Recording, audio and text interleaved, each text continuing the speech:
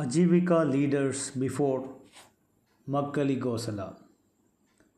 According to the Bhagavati Sutra, Makkali Gosala considered himself to be the 24th Tirthankara of the current Avasarpini age.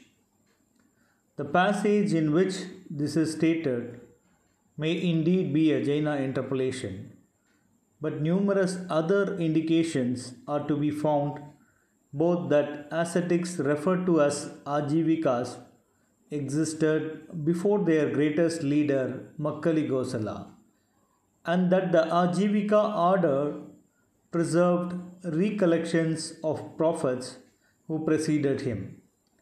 Both in the Buddhist and Jaina texts, names are mentioned which apparently refer to his predecessors.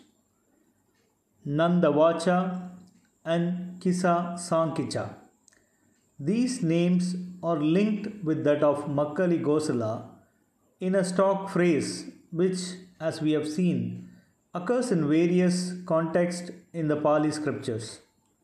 Thus, in the Anguttara, the Bhikkhu Ananda is purported to have declared that the heretical leader Purana Kassapa believed in the Ajivika theory of the six classes of men.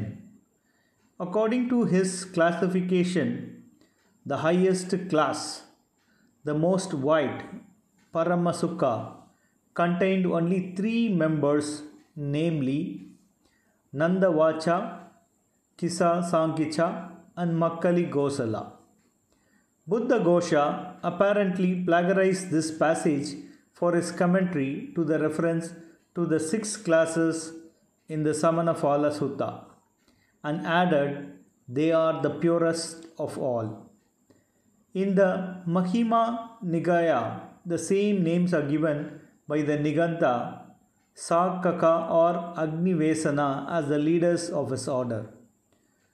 To this, Buddha Ghosha comments that the three had achieved leadership over the extreme ascetics.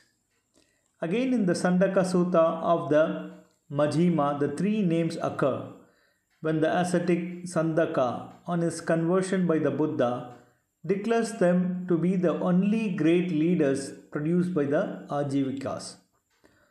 Hoernle suggests that Kisa and Nanda were probably Makkali's contemporaries. They were indeed other groups of ascetics of a similar dubious character who also bore the name of Ajivikas.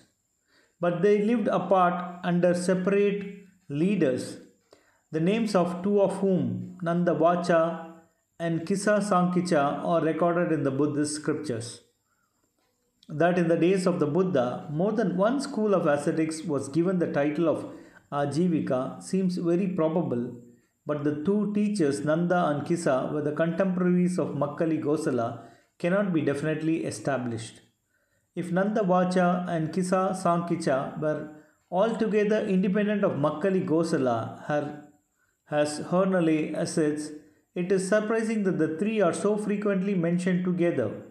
When another teacher, Purana Kassapa, who was certainly revered with Makkali by the later Ajivikas, is referred to as the leader of a separate school. Despite these objections, the view of Hoernle is shared by A.S. Gopani. Barua, on the other hand, believes that Nanda Vacha and Kisa Sankicha represents previous leaders of the Ajivikas. Nanda, he states categorically, was succeeded by Kisa and Kisa by Makkali.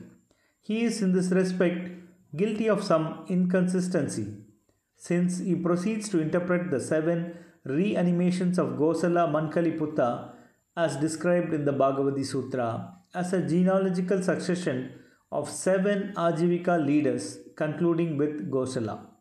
In maintaining the priority in time of Nanda and Kisa to Makkali, he supports Jacobi who first put the view forward. Barua's arguments for elevating Nanda and Kisa to the status of earlier Tirthankaras of the Ajivika order are by no means conclusive.